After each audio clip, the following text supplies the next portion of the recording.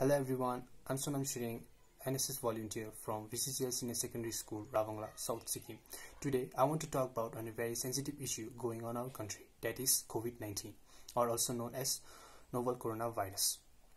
As per the reports from the official website of WHO World Health Organization, from the date 28 March 2020, there are a total of 724 confirmed cases of coronavirus in India.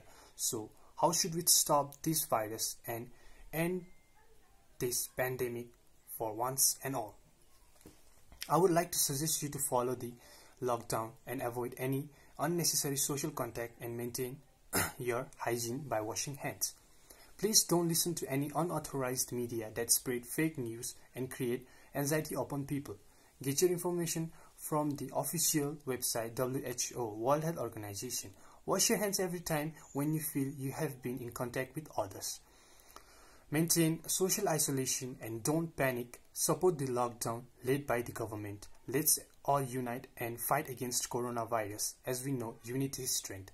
Thank you and Jai Hind.